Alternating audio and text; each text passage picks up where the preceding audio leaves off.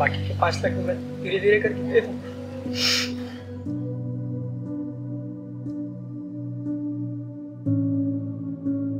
गाड़ी बंगला तो सब ठीक है लेकिन आईफोन तो दिला दो ना इसका मतलब एक एक खतरा मैंने फ़ोन तुम्हारे लिए बेच कर लाखों रुपए दिए। वो इन जैसे के साथ उड़ा रही हो तुम? तुम दुनिया के सबसे बड़े झूठे इंसान हो। क्यों डार्लिंग आईफोन 15 तो मैं देने वाला था। तुमने तो दो दो मुर्गे फंसा रखे हैं।